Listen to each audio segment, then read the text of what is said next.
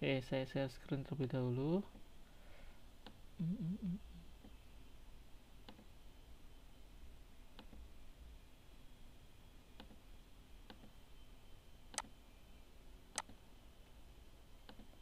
Baik, untuk uji T, jadi saya akan bahas hari ini uh, lebih hal yang umum ya, yang umum-umum yang pertama adalah tentang uji T ya. Jadi uji T ini tujuannya adalah untuk menguji hipotesis ya, seperti yang sudah saya sampaikan uh, di pertemuan-pertemuan sebelumnya bahwa hipotesis terbagi menjadi dua, ada namanya hipotesis penelitian dan ada namanya hipotesis statistik.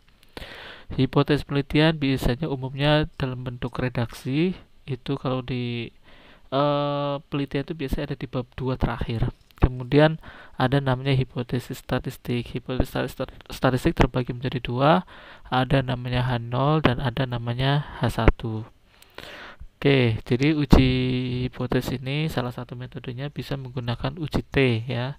Uji T terbagi menjadi dua. Ada namanya uji T satu sampel, ada namanya uji T dua sampel. Ya, oke, kita yang pertama adalah uji T satu sampel. Yang pertama adalah kita harus tahu dulu kapan kita menggunakan uji T satu sampel. Jadi saya akan berbicara yang umum-umum saja ya, yang secara global.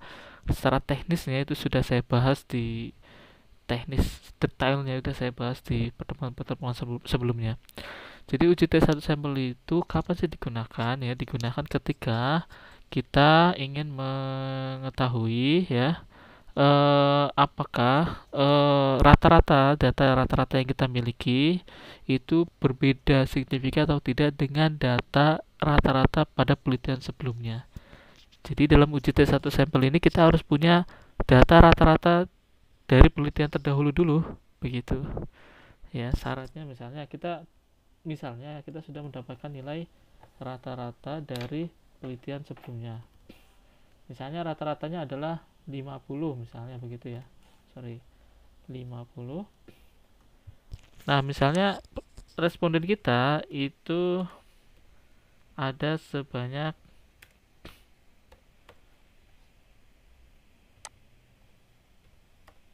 sorry ada sebanyak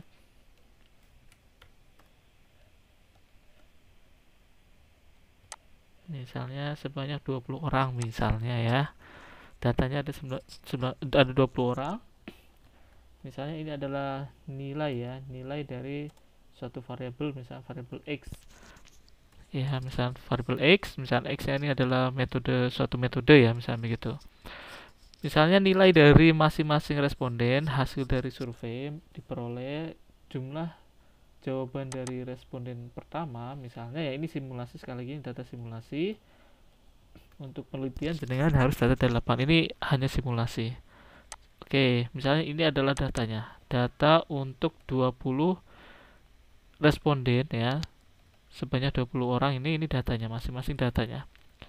Oke uh, jadi kita memiliki satu kelompok uh, populasi ya atau ya kelompok populasi satu kelompok data dan kita memiliki satu nilai rata-rata pada penelitian sebelumnya. Jadi kita ingin membandingkan.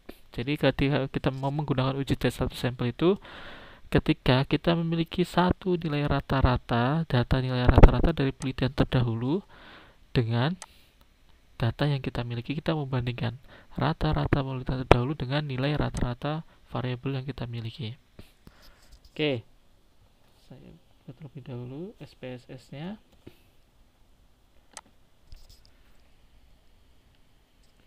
Nah, nanti ketika kita tidak memiliki data rata-rata pada penelitian terdahulu, nah baru kita menggunakan metode uji T2 sampel.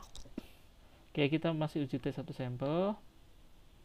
Misalkan saya copy terlebih dahulu datanya, kita taruh di SPSS. Oke, SPSS, kemudian kita perbaiki uh, datanya misalnya ini adalah misalnya X saya simpulkan X di mana X ini labelnya adalah uh, persepsi responden misalnya begitu ya responden. Misal ya ini datanya adalah persepsi responden. Oke untuk uji T satu sampel kita bisa menggunakan menu analyze. Kemudian kita pilih confirm in kemudian kita pilih one sample di test satu sampel di tes uji T satu sampel. Ya karena kita menggunakan uji T satu sampel.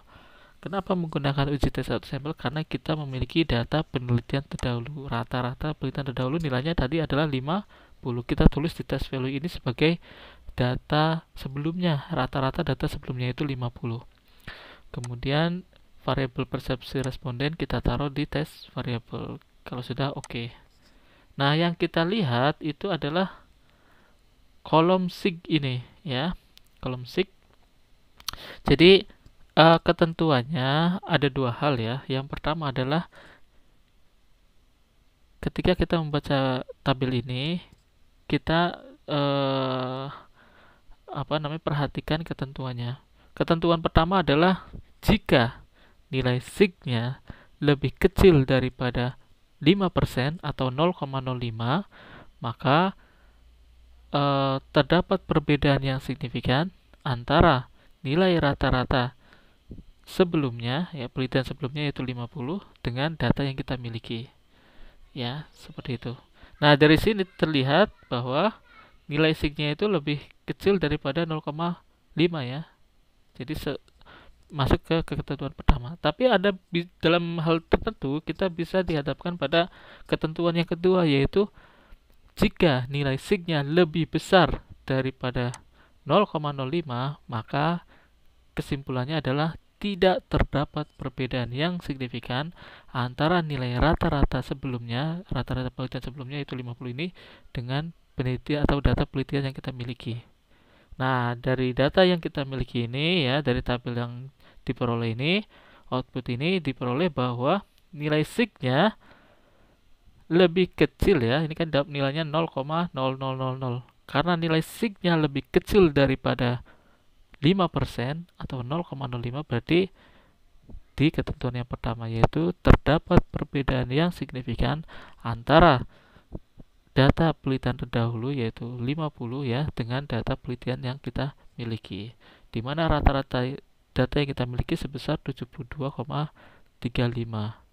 jadi terdapat perbedaan yang signifikan antara penelitian terdahulu dengan data penelitian kita. Sehingga uh, apa metode atau uh, tadi ya nilai x tadi itu uh, bisa dikatakan efektif misalnya begitu. Oke jadi nanti saya hanya menampilkan tabel ini silahkan jenengan atau mahasiswa bisa melihat diinterpretasikan outputnya. Ini untuk yang uji T1 sampel. Nah kemudian ketika penelitian itu dihadapkan pada misalnya kita tidak mengetahui data dari penelitian terdahulu seperti pada uji T1 sampel ini sudah diketahui rata-rata sebelumnya tapi kita tidak mengetahui nilai dari atau rata-rata dari penelitian terdahulu maka salah satu solusinya bisa menggunakan uji T2 sampel yaitu uh, ada namanya uji T satu sampel ber, ada uji T2 sampel berpasangan dan ada namanya uji T2 sampel tidak berpasangan. Misalnya ada kelompok A, ada kelompok B, di mana kelompok A dan kelompok B itu kelompok A menggunakan strat, e, metode dakwah misalnya begitu ya metode dakwah A metode dakwah X saja supaya berbeda. Metode dakwah X kelompok B menggunakan metode dakwah Y. Misalnya begini. Nah um, sebelum kita berikan di masing-masing kelompok A dan kelompok B ini kita berikan metode dakwah X dan metode dakwah Y, kita berikan pengetahuan kita uji pengetahuan awal dulu yaitu dengan kita beri beri tes. Kita beri beri tes di masing-masing kelompok.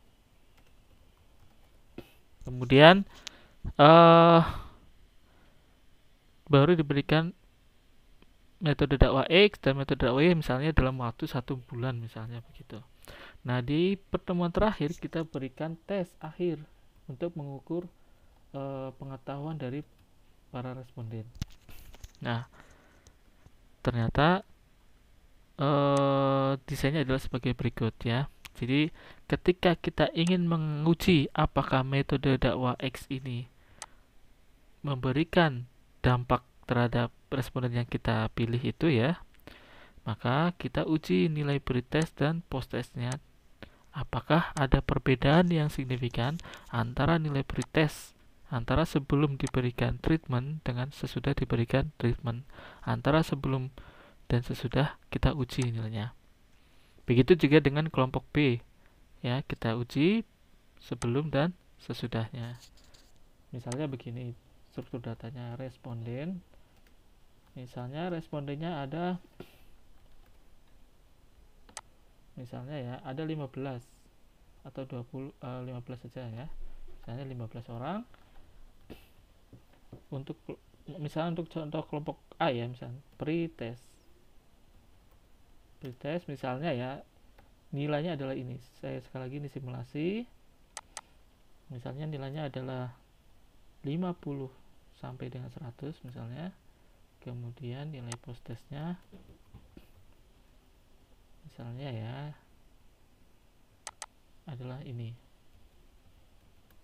Oke. Sekali lagi ini menggunakan data simulasi hanya untuk pembelajaran. Ini adalah datanya data dari kelompok A. Nanti kelompok B juga susunannya tidak jauh berbeda dengan ini. Nah kita ingin menguji apakah metode dakwah X ini e, memberikan apa dampak terhadap peningkatan pengetahuan uh, responden kita atau tidak begitu ya. Nah, ketika struktur datanya seperti ini, maka metode yang paling tepat adalah menggunakan salah satu metode yang paling tepat adalah menggunakan uji T dua sampel berpasangan. Kenapa uji T dua sampel berpasangan digunakan? Karena satu responden memiliki dua nilai, yaitu nilai pretest dan nilai post test. Jadi di sini harus sama nanti baris dan kolomnya. Ya, baris dan kolom pretest post test itu sama. Misalkan respondennya ada 15 ya ini masing-masing responden harus memiliki dua nilai yaitu nilai pretest dan nilai post test sehingga dikatakan uji T berpasangan. Maksudnya berpasangan itu ya kita mau menguji, menguji ya antara pretest dan post test dari masing-masing responden ini. Seperti itu. Oke misalkan kita coba analisis di SPSS Oke, misalnya ini saya tulis pre post. Di sini adalah nilai sebelum metode dakwah X. Kemudian ini nilai yang post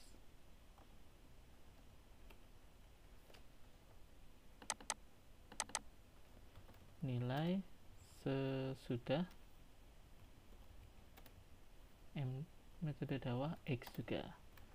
Ini sebelum ini sudah. Nah karena ini menggunakan uji T dua sampel yang berpasangan maka pilihnya adalah paired sample di test. Paired ini kan artinya berpasangan ya. Oke kita masukkan nilai sebelum dan nilai sesudahnya. Nah ini variabel pertama dan nilai sebelum. Variabel kedua adalah nilai sesudahnya. Kita klik OK. Nah uh, kita perhatikan juga sama seperti yang tadi. Yang kita perhatikan yang pertama adalah nilai sig dari tabel ini. Ketentuannya sama yaitu ketentuan pertama jika nilai signya kurang dari 5% atau 0,05 maka terdapat perbedaan yang signifikan antara sebelum ya antara nilai pretest dan nilai post test Ketentuan yang kedua adalah jika nilai signya lebih besar daripada 5%, maka tidak terdapat perbedaan signifikan antara nilai pretest dengan post-test. Nah, di sini kita peroleh nilai signya adalah 0,026. Nah, nilai 0,026 ini kan lebih kecil daripada 5% kan ya. Sehingga kita dapat simpulkan bahwa terdapat perbedaan yang signifikan antara nilai pretest dan dengan, dengan nilai post-test. Seperti itu. Nah, kita bisa lihat juga dari sini data ini, data rata-ratanya. Nah, ternyata nilai nilai sesudahnya ini rata-ratanya lebih tinggi ketimbang nilai sebelumnya. Artinya terdapat peningkatan pengetahuan ya atau pers, e, dari responden itu ya.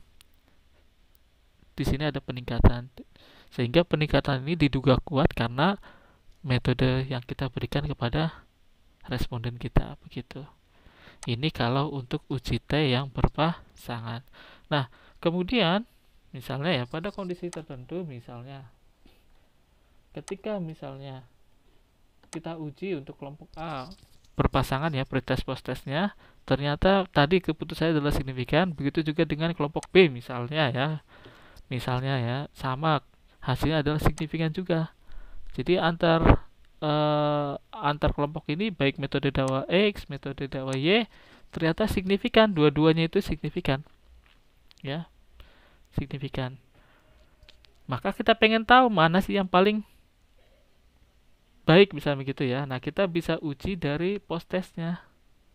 Ya, dari uji kedua ini ya post test ini kedua nilai post test ini kita uji rata-ratanya kita bandingkan dua rata-rata dari nilai ini kita akan bisa tahu apakah kedua kelompok ini berbeda signifikan atau tidak dan kita nanti bisa mengetahui e, metode mana yang paling baik misalnya begitu. Oke. Maka ketika kita menggunakan kita mau menguji dua nilai ini post test antar post test maka metode yang paling tepat menggunakan uji T dua sampel tidak berpasangan. Kenapa karena masing-masing kelompok ya karena masing-masing kelompok itu memiliki masing-masing nilai. Jadi kelompok responden di kelompok A memiliki nilai postes sendiri satu nilai postes begitu juga di kelompok B. Dia satu e, seorang responden itu ya di kelompok B itu juga e, memiliki hanya satu nilai postes. Misalnya struktur datanya jelas sebagai berikut. Misalnya responden kemudian respondennya atau saya buat kelompoknya dulu ini kelompok ini nilai post test misalnya gitu ya. Nilai post test ada responden satu responden dua. Misalnya responden satu sampai dengan 15 adalah kelompok satu misalnya atau kelompok A ya. Kita simpulkan satu kita coding satu ya. Ini adalah kelompok A kelompok pertama. Misalnya nilainya adalah ini. Ini sekali lagi ini simulasi. Misalnya nilainya adalah 50 sampai 100 oke. Sudah. Ini misalnya nilainya.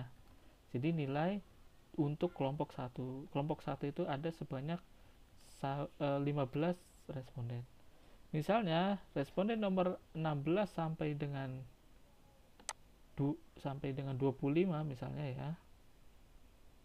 Ini misalnya kita simpulkan dua dua adalah kelompok B ya. Itu misalkan res, eh, nilainya misalnya ya kita simulasikan nilainya. Oke sekali lagi simulasikan nah ini adalah 10 orang ya dari kelompok B. Ya ini nilai dari kelompok B. Sebanyak 10 orang yaitu responden nomor 16 sampai dengan 20 berarti kan 10 orang ya ada 10 orang. Nah kita analisis ya data ini. Uh, kita analisis di SPSS oke misalnya kita taruh di kolom ini Nah, di sini kita rubah kita modifikasi. Misalnya ini adalah pos 1 ini pos 2 pos 1 itu adalah nilai pos test nilai. Pos test kelompok A. Pos 2 adalah nilai post test kelompok B. Begitu. Nah ini kita sudah berubah nah ini berubah pos 1 dan pos 2 kemudian untuk kita uji kita bandingkan rata-ratanya karena kita masih menggunakan uji T. Nah kalau one sample t-test itu adalah ketika kita mengguna, kita gunakan uji T ini ketika kita memiliki nilai rata-rata dari sebelumnya per sample t-test itu ketika satu responden memiliki dua nilai Nah, independent sample t-test ini atau uji T dua sampel yang tidak berpasangan ini dia satu responden memiliki satu nilai yaitu nilai post test di kelompok A dan satu, satu responden di kelompok B juga memiliki nilai post test. Oke. Nilai Oke, kita masukkan sorry, bukan pos 1 ya. Ini maksudnya kelompok ya, sorry sorry. Ini kelompok ini kelompok. Ini adalah nilai post test karena ini sudah digabungkan. Sorry sorry. Kita klik analyze compare mean dan independent sample t test kita masukkan test variabelnya adalah nilai post test jadi nilai post gabungan nilai post test uh, untuk kelompok satu dan kelompok dua kan kita jadikan satu kolom kemudian kelompok itu masuk ke dalam grup ya grouping variabel ini kita pindahkan ke sini. Ini masih tanda tanya sehingga kita perlu define. Nah di sini kan tadi kita coding satu dan dua ada dua grup. Grup satu adalah kita coding satu grup dua kita coding dua. Oke. Kita klik oke. Nah sama seperti tadi ya. Uh, yang kita lihat adalah nilai signya ya nilai signya Ketentuannya sama. Ketentuannya jika nilai signya kurang dari 5%, maka terdapat perbedaan yang signifikan antara kelompok A dengan kelompok B, begitu kan ya. Ketentuan yang kedua adalah jika nilai signya lebih besar daripada 5%, berarti uh, tidak terdapat perbedaan yang signifikan nilai post test kelompok A dengan kelompok B. Nah, dari sini terlihat bahwa nilai signya itu lebih kecil daripada 5% kan ya? Nah, karena nilai signya itu lebih kecil daripada 5%, maka kesimpulannya adalah terdapat perbedaan yang signifikan antara nilai post test kelompok A dengan kelompok B. Ya, dari sini bisa terlihat nih rata-ratanya minnya di kelompok A yang menggunakan metode X itu 75, yang kelompok B menggunakan metode Y itu nilainya adalah 90 sehingga dari sini nampak bahwa kelompok B lebih unggul dibandingkan kelompok A. Atau dengan kata lain metode Y itu lebih baik ketimbang metode X begitu. Nah, itu adalah interpretasi secara umum ya, secara umum dari uji T yang tidak berpasangan. Materi yang ke empat adalah korelasi. Jadi korelasi ini uh, ada dua hal yang akan kita kaji. Ya, pertama adalah kata kunci yang pertama adalah korelasi itu tujuannya adalah ingin mengetahui keeratan dari vari antar variabel. Kita ingin menguji apakah e, terdapat korelasi yang signifikan antar variabel. Itu yang pertama. Yang kedua adalah hubungannya, keeratan hubungannya itu apakah tandanya positif atau negatif, ya. Jika positif, kondisi positif ya. Kondisi positif itu jika variabel satu naik, maka variabel lainnya naik. Jika variabel satunya turun, maka turun. Itu kalau kondisi positif. Kalau kondisi hubungannya negatif, itu adalah ketika variabel satunya turun, variabel lainnya naik. Ketika variabel lainnya turun, variabel lainnya naik. Atau sebaliknya. Misalnya, contohnya adalah misalnya, ini contoh saja ya, penggunaan media sosial medsos jadi dalam satu hari kan ada 24 jam nah dalam satu hari itu rata-ratanya itu berapa jam menggunakan medsos itu. Nah, apakah ada hubungan medsos dengan IPK mahasiswa? Ini contoh saja ya, contoh sederhana untuk simulasi. Apakah ada hubungan yang signifikan antara variabel media sosial dengan IPK? Jika ada variabel jika ada jika ada hubungan yang signifikan, hubungannya itu positif atau negatif. Nah, itu ada dua hal dalam korelasi. Misalnya ini adalah datanya, ini sekali lagi simulasi Misalnya datanya adalah sebagai berikut. Dalam sat, dalam satu hari kan ada 24 jam. Oke, 1 sampai 24. Kemudian IPK itu kan nilai IPK misalnya ya, ini simulasi saja. Nilainya 1 sampai 4. Oke. Misalnya sebanyak ini respondennya.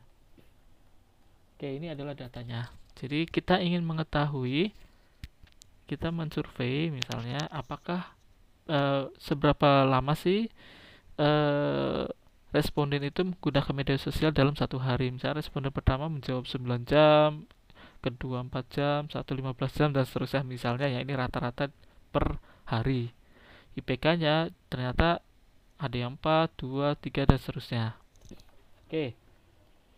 Kita uji korelasi ini kita ingin mengetahui apakah ada hubungan yang signifikan antara dua variabel ini. Kemudian hubungannya itu positif atau negatif. Oke, kita cek di sini kita uji ya di SPSS. Oke. Di sini misalnya kita simbolkan medsos, satunya adalah IPK. Labelnya supaya lebih rapi kita tulis labelnya misalnya adalah jumlah jam penggunaan jumlah jam penggunaan media sosial per hari misalnya kemudian ini adalah IPK misal ya kemudian kita lihat di sini sudah berubah medsos dan IPK variabelnya. Kita klik analyze pilih correlate ya korelasi kemudian pilih bivariate. Di sini kita pindahkan jumlah jam ke variabel kemudian IPK juga ke variabel. Jadi kita ingin mengetahui kekuatan hubungan dari dua variabel ini apakah signifikan atau tidak nah dari sini ya tampil korelasi nampak bahwa di sini ada dua signya kita lihat salah satu saja karena nilainya sama ya kita lihat nilai signya terlebih dahulu. Nah, nilai signya ternyata diperoleh 0,4 ya. Ketentuannya sama dengan sebelumnya. Jika karena nilai signya itu lebih besar daripada 0,4 maka eh karena nilai signya itu 0,4 ya. Ini kan 0,4 itu lebih besar daripada 0,5 0,05 5%. Ya, maka tidak terdapat hubungan yang signifikan antara variabel jumlah jam penggunaan media sosial per hari dengan IPK. Ya, saya ulangi lagi, di sini nilai signya diperoleh karena nilai signya lebih besar daripada 5%, 0,05, maka keputusannya adalah tidak terdapat hubungan yang signifikan antara jumlah jam penggunaan media sosial per hari dengan IPK. Jadi tidak ada hubungannya. Ya, secara signifikan tidak ada hubungannya. Meskipun hubungannya negatif ya. Meskipun hubungannya negatif sudah betul ya. Secara teori kan seharusnya misalnya ya, semakin banyak orang menggunakan uh, media sosial dalam sehari misalnya begitu ya. Itu kan dugaannya itu IPK-nya akan turun kan begitu. Begitu juga sebaliknya. Jika kita jarang menggunakan media sosial, dugaannya adalah IPK-nya akan naik misalnya begitu ternyata tidak ada hubungan yang signifikan antara dua variabel ini kecuali kalau misalnya nilai signya itu diperoleh lebih kecil daripada 0,05 misalnya nilainya adalah 0,000 misalnya begitu ya 0,000 itu kan lebih kecil daripada 5% nah jika nilai signya itu lebih kecil daripada 5% maka terdapat e, kesimpulannya adalah terdapat hubungan yang signifikan antara jumlah jam penggunaan media sosial per hari dengan IPK kalau nilai signya lebih kecil daripada 5% atau signifikan. Begitu ya. Ini kalau korelasi. Jadi saya ulangi lagi, korelasi itu kita ingin mengukur dua hal, yaitu keeratan hubungan antar variabel. Yang pertama, kedua adalah tandanya itu positif atau negatif. Kalau positif, jika variabel ini naik, maka ini naik. Kalau karena ini negatif, jika ini naik, IPK turun, begitu. Jika ini turun, IPK naik. Seperti itu. Itu untuk yang korelasi. Nah, sekarang yang terakhir, materi yang terakhir, ini saya berbicara secara umum ya. Regresi itu pengembangan dari korelasi ya. Jadi regresi itu ada tiga hal. Yang pertama itu adalah kita ingin mengetahui atau kita ingin mendefinisikan hubungan antara variabel independen dengan variabel dependent dalam bentuk model statistik. Itu yang pertama. Jadi kita ingin mendefinisikan hubungan, kita ingin membuat model dalam bentuk model. Itu satu hal. Yang kedua, kita ingin mengetahui seberapa besar sih pengaruh dari variabel x terhadap variabel y. Itu dapat kita lihat dari koefisien variabel x-nya. Yang ketiga adalah kita ingin prediksi ya. Jadi ada tiga hal dalam regresi memodelkan, menginterpretasikan. Yang ketiga adalah prediksi. Karena nanti endingnya regresi itu kan kita misalnya masih mau membuat e, model misalnya y sama dengan beta 0 plus beta 1 x plus e plus error. Jadi kita itu ingin membuat model pertama ya hal yang pertama adalah mendefinisikan hubungan antara variabel x antara variabel independen atau variabel x terhadap variabel dependent atau variabel y. Jadi kita ingin mengetahui mendefinisikannya itu dalam bentuk model. Nah, nanti kita bisa lihat mendefinisikannya itu meningkat atau turun dilihat dari tandanya positif atau negatif. Kemudian yang kedua adalah menginterpretasikan. Menginterpretasikan maksudnya adalah kita bisa melihat seberapa besar sih pengaruh variabel x ya pengaruhnya itu bisa dilihat dari koefisiennya. Jadi koefisien ini, koefisien dari variabel x ini atau kita simpulkan B1 di sini ya. Itu adalah besaran pengaruh variabel x terhadap variabel y. Misalnya saya dapatkan model y sama dengan misal ya 0,1 plus 0,2 plus eh sorry x plus e misalnya. Ini ini simulasi sekali lagi contoh saja ini artinya bahwa pengaruh variabel x terhadap variabel y itu sebesar 0,2 begitu. Kalau kalau persen ya berarti 20 persen kan begitu. Jadi pengaruh dari variabel x ini nilainya adalah 20 persen terhadap y atau 0,2 terhadap y. Itu.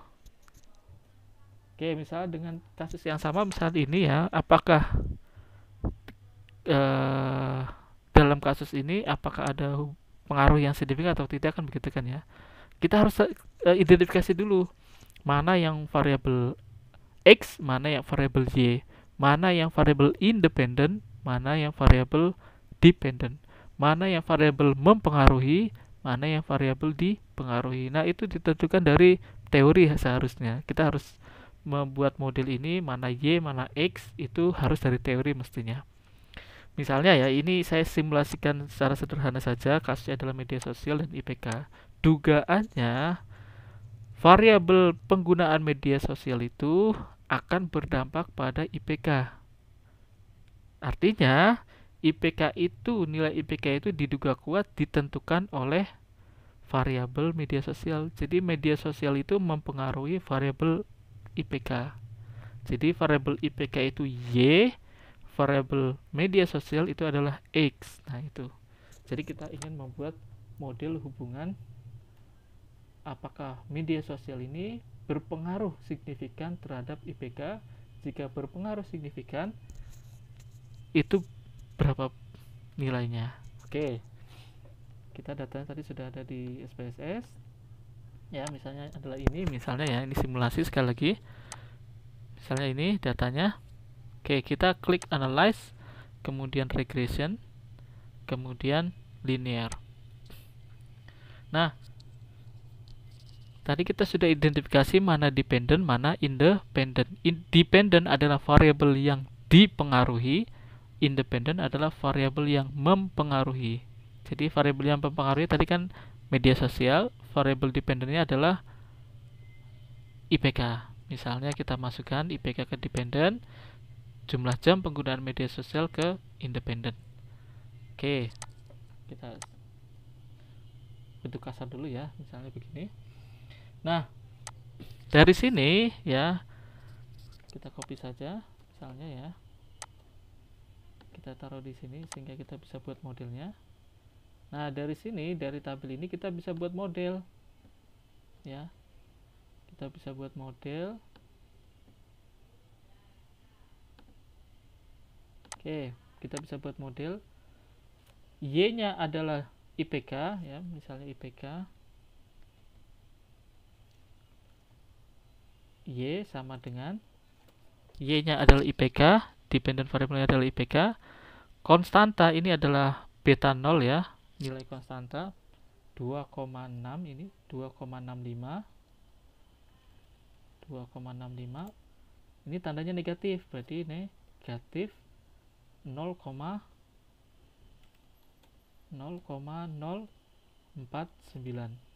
X bisa begitu sorry ditambahin E error residual. Plus. Oke. Nah dari sini terlihat bahwa uh, modelnya adalah sebagai berikut. Jadi uh, model IP, apa media sosial terhadap IPK ini itu adalah modelnya seperti ini. Ini adalah data simulasinya. Nah diperoleh nilai signya adalah ini nilai signya adalah 0,445 karena nilai signya ini lebih besar daripada 0,05 atau lebih besar daripada 5% maka jumlah jam ya atau penggunaan media sosial itu tidak berpengaruh signifikan terhadap IPK ya karena nilai signya lebih besar daripada 5% kecuali kalau misalnya nilai signya misalnya ya nilai signya adalah 0, 0,1 misalnya begitu. Ya kan misalnya ini. Maka karena nilai jika nilai signya itu 0,01 misalnya ya ini hasilnya kebetulan lebih besar. Kalau nilai signya itu lebih kecil daripada 5% maka variabel penggunaan media sosial dalam per hari ini berpengaruh secara signifikan terhadap IPK ya. Jadi pengaruhnya berapa persen? Ternyata sebesar 4 persen ya, 4,9 persen. Dan hubungannya itu pengaruhnya itu negatif. Artinya jika semak jika jumlah penggunaan media sosial per harinya itu uh, tinggi, maka IPK-nya juga akan turun. Jika penggunaan media sosialnya bisa ditekan, diturunkan, maka diduga kuat IPK-nya akan naik begitu. Kalau signifikan signifikan. Kebetulan ini hasilnya adalah tidak signifikan. Artinya ya variabel media sosial ini tidak berpengaruh signifikan terhadap IPK begitu. Sampai sini ada yang tanyakan?